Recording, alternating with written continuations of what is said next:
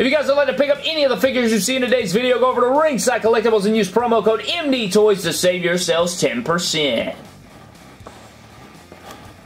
Let's rank these fools.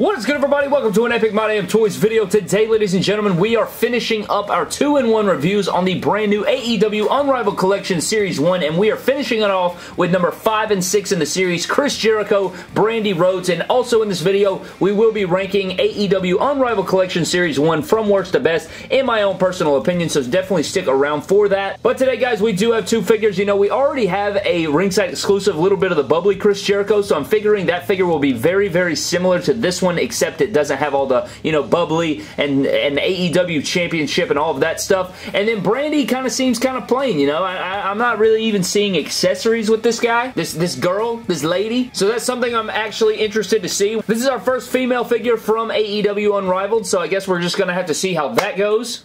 Bug, get out of here, damn jackass. But you know, we're to find out together. We're to find out how the women's figures go, how they compare to a Mattel, and we're to rank AEW Unrivaled Series 1 all together. So let's go ahead and dive into it, guys. As you guys can see, front viewing window here, you got a lot of entrance gear and stuff with Chris Jericho. Spinning to the right, you have the AEW logos, 5 and 6 in the series, as you guys can see there. Nice photo of Brandi and Chris Jericho right there. Spinning it around, you got the Le Champion right there, very similar to his little bit of the bubbly. You have Brandi holding the sledgehammer from Double or Nothing. Both of these figures are from Double or Nothing. And another thing that I wanted to mention is I'm actually interested to see going forward if every figure will be from a specific event. I think that'll be interesting to see as we go. But we have Oh. But we have the rest of the figures in the way that we've already reviewed. You got the Young Bucks, Cody, and Kenny Omega.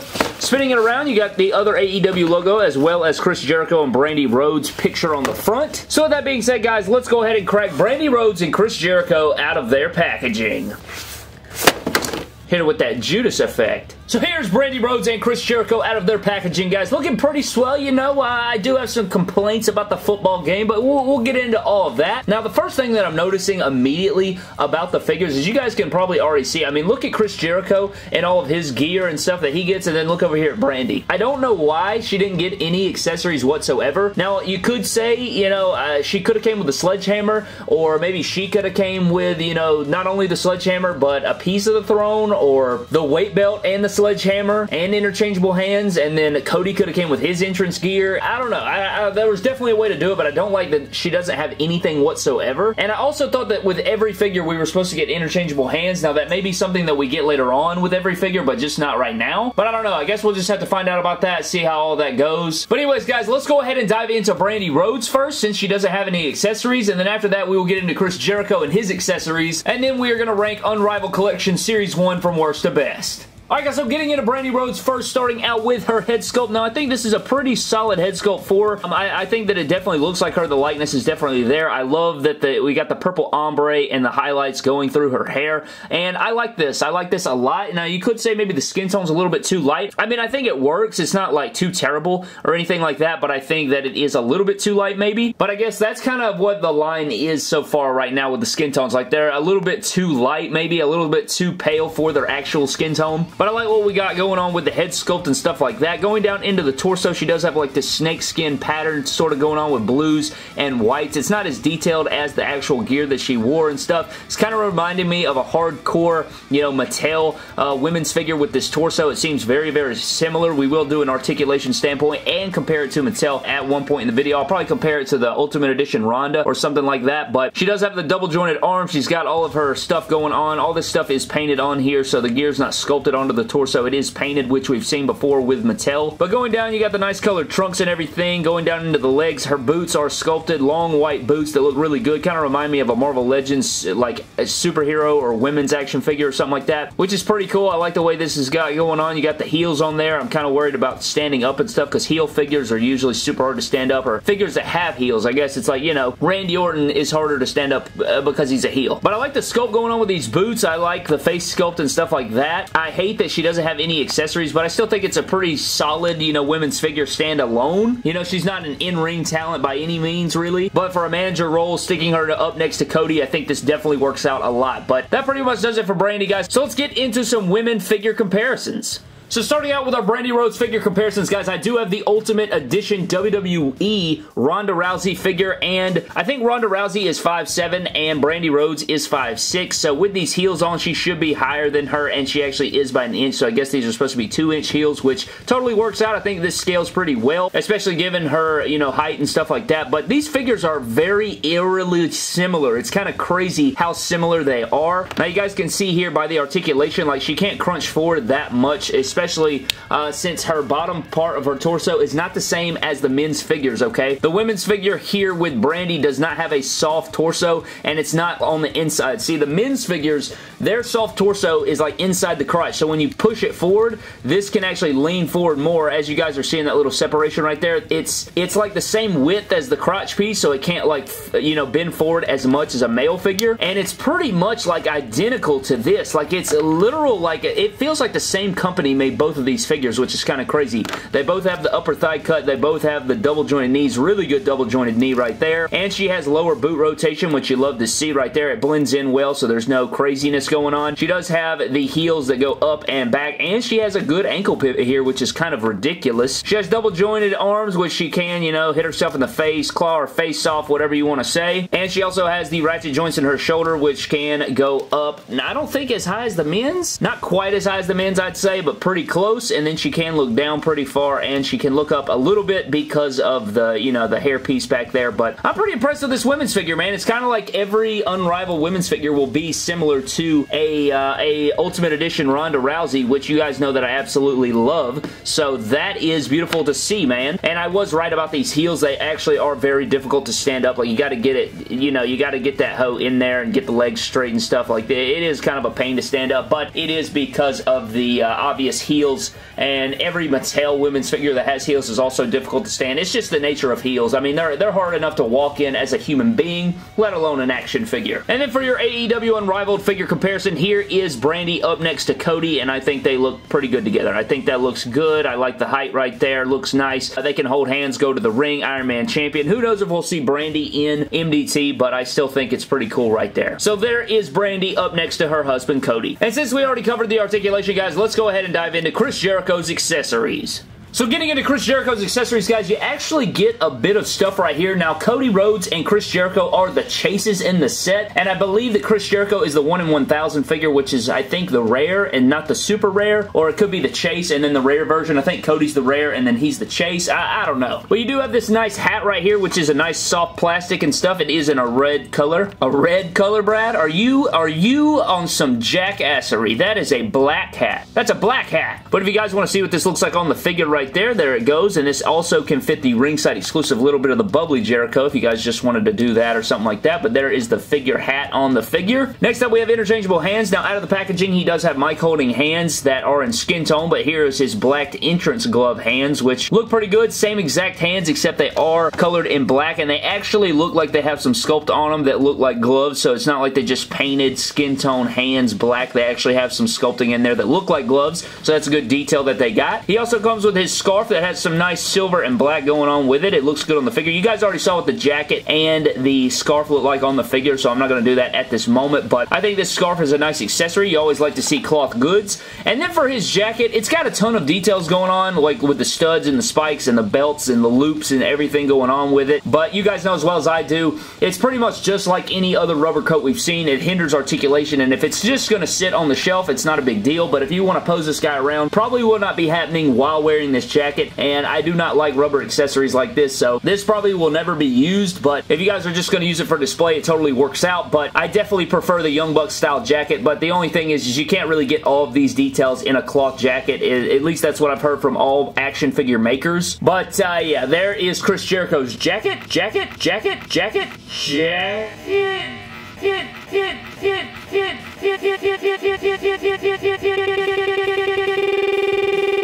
pretty much does it for Chris Jericho's accessories, guys. So with that being said, let's dive into Chris Jericho himself. Alright, ladies and gentlemen, so diving into Chris Jericho himself, we do have a different head sculpt that we saw than the ringside exclusive, a little bit of the bubbly Chris Jericho, but I still think the likeness is there, and I like. I think a lot of people are going to argue that they like this head sculpt better, and I think I'm right there with you. I think I do like this head sculpt better. You know, he is grimacing or, or pissed off here, but I still think it looks like Jericho. I think it looks nice. This is the same torso, arms. I actually think this figure is the exact same from the neck down. Like, all the deco's the same, all the pants are the same. Everything is the same same as a little bit of bubbly Chris Jericho with the big tongue on the boots, and you got the tattoos and everything going on. So it is exactly the same except for the head sculpt, which is pretty cool. Doesn't include all the accessories, doesn't include the AEW Championship, so if you guys want to track that stuff down, I would definitely do so. You can go over to Ringside Collectibles and pick that up using promo code MD Toys, but this figure is virtually the exact same and all of that good stuff. Now, if you guys want to know about articulation, we do cover it in that little bit of the bubbly, but I'll run through it real quick so you guys will know. Now, he can look down pretty decent he can't look back that much because of the hairpiece, so that is unfortunate. Shorter haircuts for different guys like Cody and, you know, guys in future, you know, lines and stuff like that. Orange Cassidy, guys like that will probably have better head articulation because of the long hair molds and stuff, but he can do the diving headbutt. You get the 360 all the way around, bicep swivel here. He does have good double jointed elbows, which are always great to see. You can grab the back of his ponytail right there. Now, as far as ab crunch goes, he can bend over all the way right there, and I think my top port, yeah, I, uh, oh my god, God in heaven. So yeah, you can't pop that apart. Not a big deal there, but you do get a lot of forward lean right there, which is very nice to see. He is on ball joints on the legs like all AEW figures. You get the upper thigh cut. You get the double jointed knees. He does have knee pads, so it's going to hinder it just a little bit there. You do get the boot rotation, and you get the ankle pivot, and the ankles can move down and up, which is always beautiful to see. Just like other articulation with the rest of the AEW figure wave, I mean, this, this is a beautiful piece, man. You can do all the poses you need. You don't have to worry about it. It can Judas effect your face off, and that's what you love to see out of a Chris Jericho action figure. So for your AEW Chris Jericho comparisons, guys, we have the Unrivaled Collection Series 1 on the left, and then we have the little bit of the bubbly Chris Jericho on the right, ringside exclusive. And you guys can see, I mean, again, they're the exact same figure except with different head sculpts. And you guys can let me know down in the comment section below which head sculpt you like better. I do believe I like the uh, Collection 1 on the, on the left there, but you guys can let me know what you think down in the comment section below. You know, it's two different things. You got happy, you got pissed off there, so you guys can let me know. But yes, everything is pretty much the exact same. I'm pretty sure there's no other differences between the figures there, so that is our ringside exclusive Jericho. And then here's the new Chris Jericho up next to his opponent at Double or Nothing, which this event is based off of, or which these attires are based off of, which is Kenny Omega. Which I think these work out alright. Again, Kenny Omega is definitely way too pale, but I, I like the way these two stack up against each other. And if you guys missed our AEW ringside exclusive for a little bit of the bubbly Chris Jericho figure comparison, here he is up next to his Mattel counterpart, and uh, he is standing a little bit taller, or maybe not. He's just I think what it is is the AEW figure torsos are a little bit wider there, but I think it's looking pretty good right there. You guys get a little uh, comparison shot between the two. That does it for our Chris Jericho figure comparison. So with that being said, let's go ahead and rank AEW Unrivaled Collection Series 1 from worst to best. Alright guys, it is time to rank Unrivaled Collection Series 1 from worst to best. Now you guys know how these work. This is going to be my own personal opinion ranking this collection from the worst figure to the best figure. Now again, if something comes in at number 1, it doesn't mean it has zero flaws. And if it comes in at the bottom, it doesn't mean it's necessarily a bad figure. It's just compared to the rest of the collection. You know the criteria for this. It comes down to accessories, head sculpt, posability, excitement level for the figure, need upon the figure, ability to use it in the pick fed. All of that stuff comes into, into consideration when I'm doing these rankings. So that being said, guys, let's start off with the number six spot, and for me, it is going to be Brandi. Now, the reason that I am saying Brandi is because she comes with zero accessories. She's kind of difficult to stand with these heels, you know. I think the articulation on this figure is fantastic, and I'm actually really happy to have a Brandi Rhodes. Now, did we need her in Series 1? Would it have been better to get, you know, maybe the first women's champion, or maybe some other talent that could have got in here, possibly, or maybe even another women's talent? I still like the figure. I am just more excited for the rest of the wave, and I don't know when I'll actually use this. And so for that reason, I did want to put her at the bottom of the ranking, even though this is a damn good figure, and I love the double jointed knees on this. The posability is actually really good. I just do not like the ankles right here. And it's not necessarily her fault because it's heels, and that's what she wore, but, you know, I, somebody's got to be at the bottom. Now, coming into the number 5 rankings, got to be Chris Jericho. Now, for me, Chris Jericho would have been higher on the list, probably, if, uh, you know, I didn't have the ringside exclusive. I have the ringside exclusive, a little bit of the bubbly Chris Jericho over here, and uh, for that reason, this knocks knocks it down a peg. It's just a new head sculpt. The jacket is not the best, which probably would have put this figure a lot higher on the list had it been a cloth jacket or something like that. But uh, Chris Jericho does come in at number 5, and uh, it's still a really damn good figure. And if you guys missed out on the ringside exclusive, this is a great figure to get.